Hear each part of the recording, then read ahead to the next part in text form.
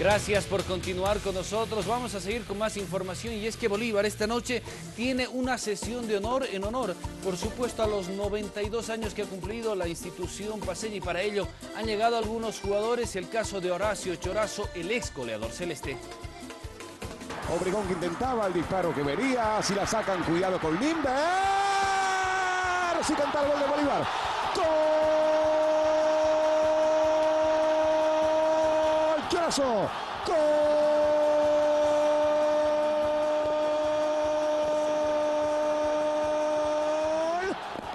De Bolívar. Que por ahora con este resultado finalista de la Copa Nissan Sudamericana. Histórico momento del fútbol boliviano. Cinco segundos. Le va a pegar Sánchez. La mete Reyes. Tiempo cumplido. Señoras y señores, histórico. Por primera vez un equipo boliviano llega a la final de un torneo continental. Bolívar, Bolívar, el finalista de la Copa Nissan Sudamericana, va a jugar la final contra Boca. Sí, sí, esa copa fue muy importante.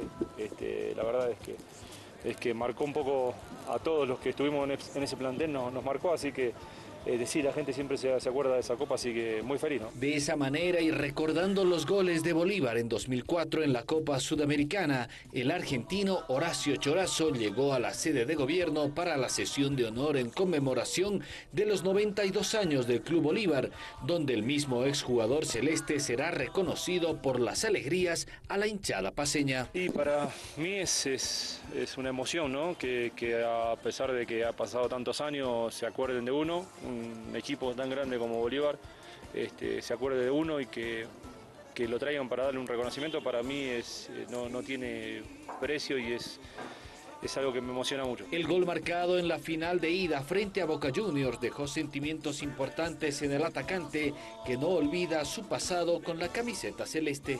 Bolívar, eh, para mí, este, con el paso de los años, este, se ha transformado en, en algo muy lindo que pero más que nada porque bueno a raíz de que quizás esa copa la gente me ha tomado mucho cariño y, y siempre me lo hace sentir y, y, eso a uno lo, lo pone lo pone bien y, y le da mucha mucha alegría ¿no? que la gente se acuerde de uno, así que para mí Bolívar es muy importante. Tal como si fuera ayer, el ex académico recordó la alineación de aquel plantel de Bolívar. Bueno, en, en ese plantel atajaba la Copa, atajaba Machado, este, después jugaba Gatti Ribeiro que se lesionó, ligamento cruzado y lo hizo Pachi después. Este, bueno, jugaba tres centrales de categoría como Sandy, eh, Ferreira y, el recordado Oscar Carmelo Sánchez. Y después este, Percy Colque, después en el medio jugaba Tufinio, eh, jugaba eh, Nacho García, por izquierda Galindo, jugaba Limber Gutiérrez o Pedro Guibergui y Sucha y yo. Pachi por adentro para perseguir al Guli. Y Sánchez queda abierto por la derecha casi como un lateral extremo. Atención, viene Chorazo habilitado y está.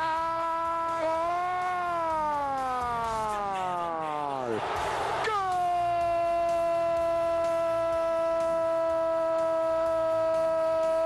¡Gol!